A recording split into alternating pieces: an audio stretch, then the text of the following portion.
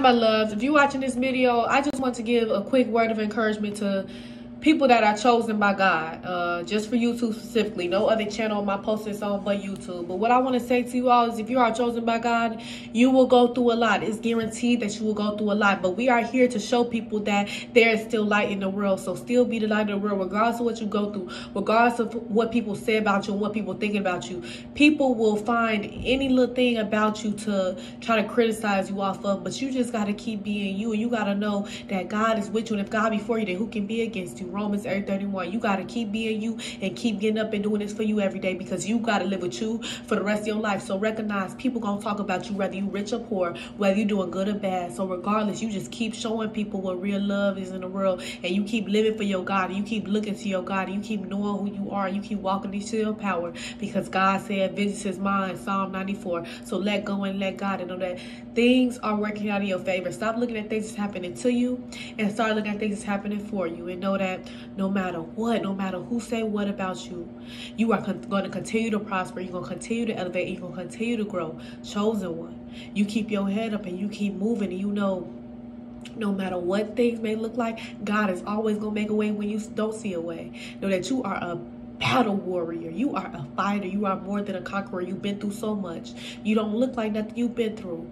That's because you've chosen my God. You got an assignment to fulfill here. So fulfill the assignment and stop worrying about what other people think and what other people say about you.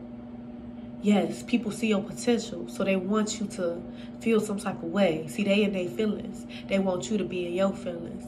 But you know what? Don't get in your feelings. Why would you get in your feelings? Let them live of this world. You're not of this world. You are of God. You are a child of God. Keep looking to your God and keep seeking first the kingdom and its righteousness. And know that all things shall be added on to you, chosen one. Matthew 6 33. Recognize that all you have to do is love your enemies and pray for those who persecute you. Matthew 5 44. Love them and pray for them. It takes a powerful person to love and to pray for somebody that do them dirty and that talk down and look down upon them. But it's more so for you if you look at it from that perspective. So that you don't have that negativity and that hate and that evil and that malice in your heart.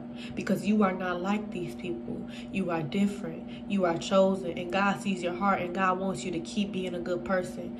But just watch you good too and know that everything is going to be all right, chosen one, because it's all working out in your favor. Keep your head up. You got this. You were chosen for a reason because you've been through more than the average person.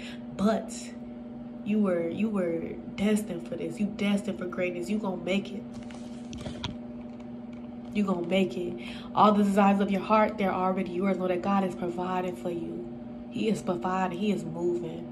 God just want me to get on here and give um, the chosen ones some encouragement because I definitely understand what you're going through.